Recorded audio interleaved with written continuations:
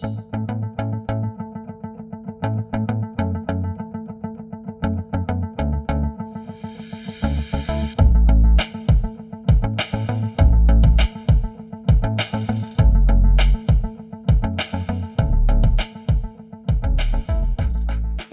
allihopa och varmt välkomna till min miniserie där jag i några avsnitt kommer att visa upp några olika selar i syfte att du som hundägare ska kunna göra ett så bra val som möjligt när du ska köpa en sele till din egna hund. Och det du kan förvänta dig i den här serien är att jag kommer att ta upp för och nackdelar samt att jag kommer att betygsätta den här selen. Och jag kan nämna redan nu att en del av de här selarna är mer anpassade för mindre hundar medan en annan del av de här fungerar både till stor och liten. Så är det så att du har en större hund så tycker jag absolut att du ska kika på morgondagens avsnitt för då kanske jag tar upp en sele som då är mer anpassad för en större hund. Och först ut har vi den här selen.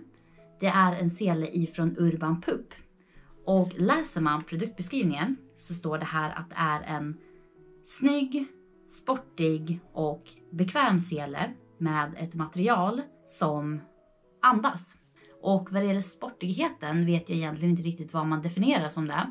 Men eftersom att den här är så lätt, den är så mjuk och den har då det här andningstyget så att säga, eller tyget som andas, så kan jag tycka att eh, ja, sportig är den absolut. Och eh, om den här är snygg, det, ja, det är väl upp till betraktaren egentligen att avgöra om den är det. Och vad det gäller om den är bekväm så skulle jag nog också vilja säga att eh, ja, jo, men den här tror jag kan vara rätt så bekväm. Så om man ska säga någonting positivt med den här selen så tycker jag att den är, som jag sa, den är väldigt mjuk och den väger inte speciellt mycket. Jag tycker att den här selen är väldigt enkel att ta på hunden och jag tycker också att den är väldigt enkel att ta av. Och så mycket annat positivt kan jag väl egentligen inte se med den. Med tanke på att den inte är speciellt avancerad. Så ja, vi hoppar in på det negativa istället. Och det är det här knäppet. Jag tycker att knäppet i förhållande till storlek på sele är väldigt stort. Jag tycker också att det sitter alldeles för långt ner. Vilket i sin tur gör att hunden då när den går slår till det här knäppet med benet. Och sen tycker jag att det här är också väldigt dåligt. Jag hade hellre sett att den här hade suttit fast så att den inte liksom gled så mycket så här.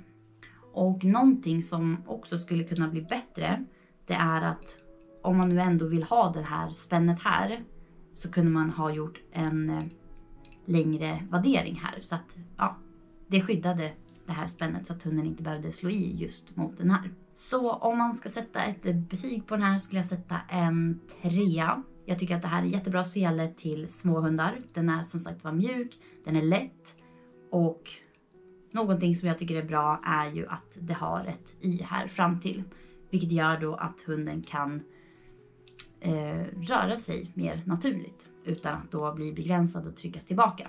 Det finns väl inte så jättemycket mer att säga om den här selen. Det finns inte jättemånga olika delar på den och det finns inte jättemånga olika funktioner så ja, jag tackar för att du har tittat på det här avsnittet och jag hoppas att du kommer kika även imorgon. Ha det bäst allihopa så syns vi då. Hejdå!